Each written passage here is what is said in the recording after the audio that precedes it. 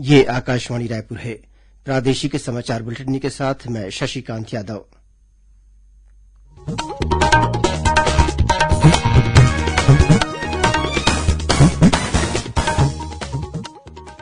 और अब पेश है आज के मुख्य समाचार।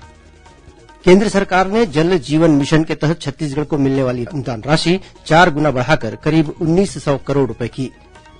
कोरोना संक्रमण की स्थिति में सुधार को देखते हुए राज्य के सभी शासकीय कार्यालयों में सोमवार से अधिकारी कर्मचारियों की शत प्रतिशत उपस्थिति अनिवार्य की गई।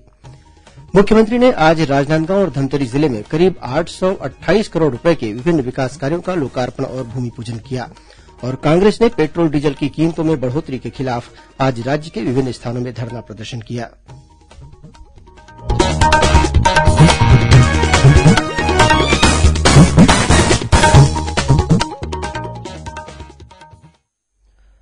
कोरोना संक्रमण को देखते हुए श्रोताओं से अपील है कि लापरवाही न बरतें और इन आसान उपायों का पालन सुनिश्चित करें।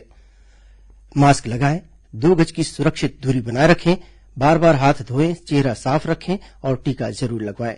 लोगों को कोविड से संबंधित जानकारी देने और उनके मार्गदर्शन के लिए राष्ट्रीय हेल्पलाइन नंबर कार्यरत है। छत्तीसगढ़ के लिए हेल्पलाइन नंबर है एक शून्य चार और शून्य सात सात एक दो दो तीन पाँच शून्य नौ एक। साथ ही राष्ट्रीय हेल्पलाइन नंबर है एक शून्य सात पाँच।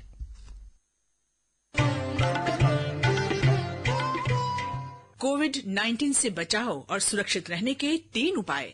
मास्क लगाएँ दो गज दूरी है ज़रूरी। सुरक्षित दूरी रखें हाथ और मुँह साफ़ रखें।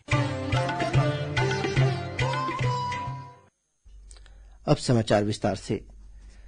जल जीवन मिशन के अंतर्गत छत्तीसगढ़ को दी जाने वाली अनुदान राशि को केंद्र सरकार ने करीब चार गुना बढ़ा दिया है।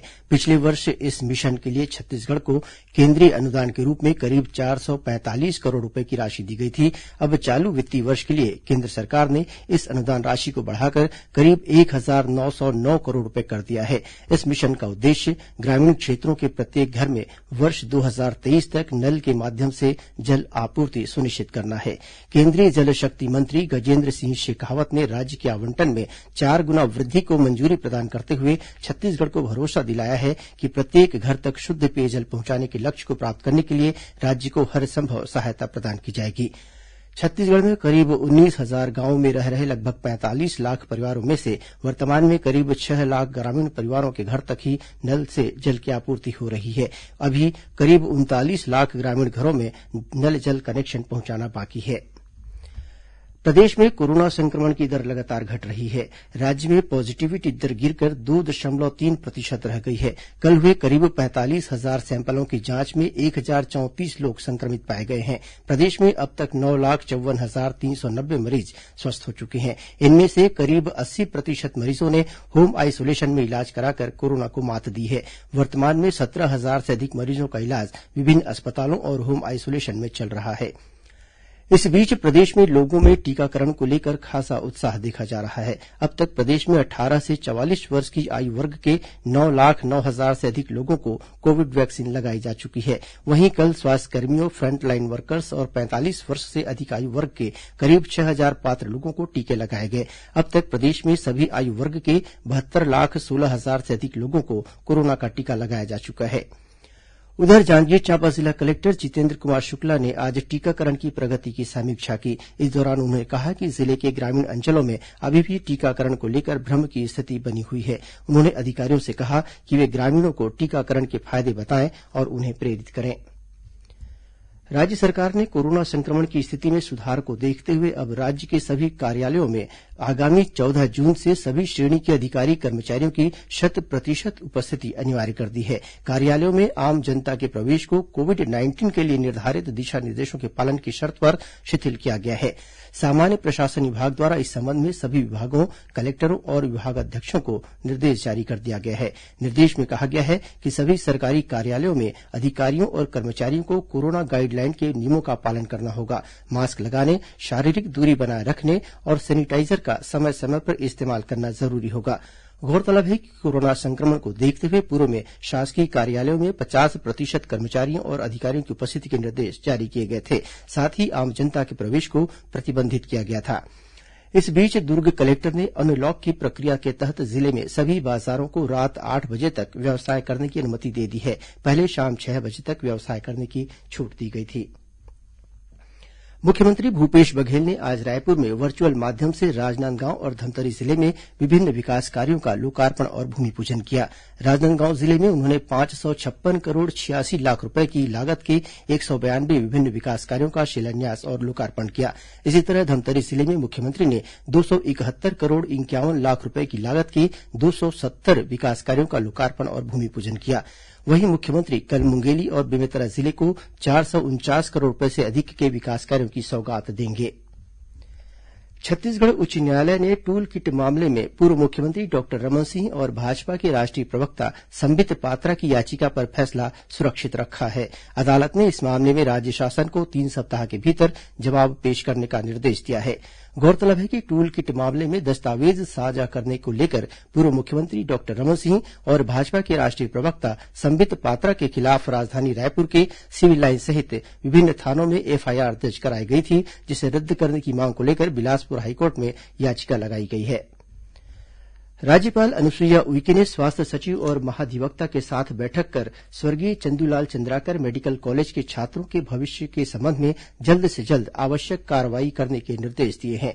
राज्यपाल ने कहा है कि यह विद्यार्थियों के भविष्य से जुड़ा विषय है। उन्होंने स्वास्थ्य सचिव को इस मेडिकल कॉलेज के अधिग्रहण करने के संबंध में जल्द से जल्द कार्रवाई करने के भी निर्देश दिए। भाजपा के राष्ट्रीय उपाध्यक्ष और पूर्व मुख्यमंत्री डॉक्टर रमन सिंह ने केन्द्र सरकार द्वारा न्यूनतम समर्थन मूल्य की नई दर घोषणा का स्वागत करते हुए प्रधानमंत्री और केंद्रीय कृषि मंत्री का आभार व्यक्त किया है। डॉक्टर सिंह ने राज्य की कांग्रेस सरकार के ढाई वर्ष के कार्यकाल को निराशाजनक बताते हुए कहा कि भाजपा के वादा निभाओ अभियान के तहत राज्य सरकार से सवाल पूछे जाएँगे।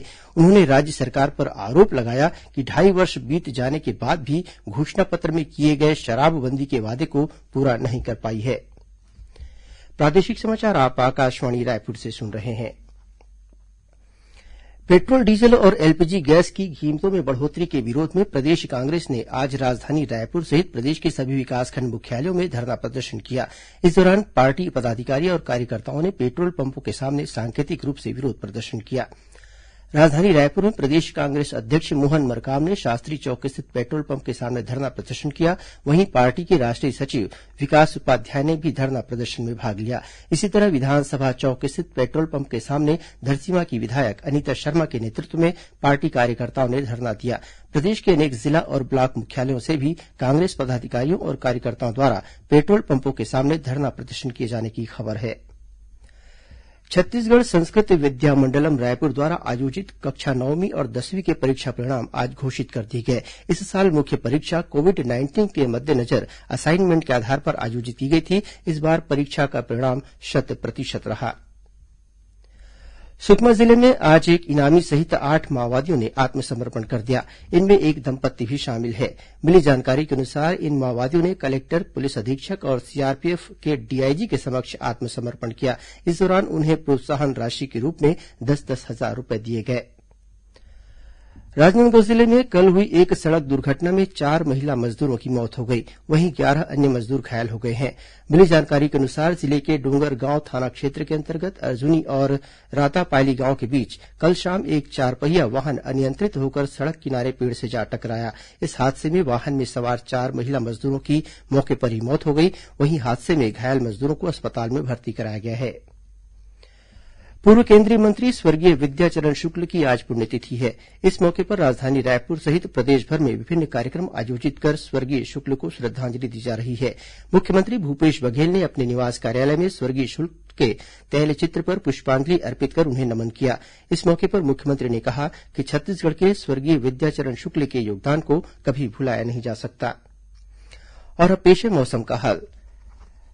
दक्षिण पश्चिम मानसून के छत्तीसगढ़ में प्रवेश करने के साथ ही राज्य की कई जगहों पर बारिश का दौर शुरू हो गया है। आज राजधानी रायपुर सहित कई इलाकों में बारिश होने की खबर है। मौसम विभाग ने आगामी चौबीस घंटों के दौरान प्रदेश के कुछ स्थानों पर मध्यम से भारी तथा एक दो स्थानों पर भारी से अति भारी वर्षा होने की चेतावनी दी है। साथ ही प्रदेश के कुछ स्थानों पर आकाशीय बिजली गिरने की संभावना भी जताई है।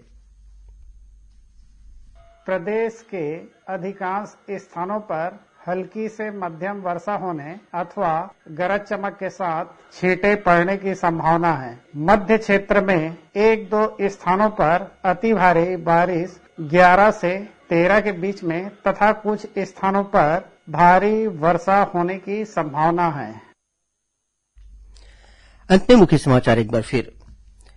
केंद्र सरकार ने जल जीवन मिशन के तहत छत्तीसगढ़ को मिलने वाली अनुदान राशि चार गुना बढ़ाकर करीब उन्नीस सौ करोड़ रुपये की।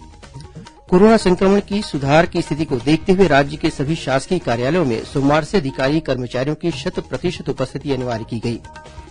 मुख्यमंत्री ने आज राजनांदगांव और धमतरी ज़िले में करीब आठ सौ अट्ठाईस करोड़ रुपये के विभिन्न विकास कार्यों का लोकार्पण और भूमिपूजन किया। और कांग्रेस ने पेट्रोल डीजल की कीमतों में बढ़ोतरी के खिलाफ आज राज्य के विभिन्न स्थानों में धरना प्रदर्शन किया। इसी के साथ प्रादेशिक समाचार बुलेटिन समाप्त हुआ। नमस्कार।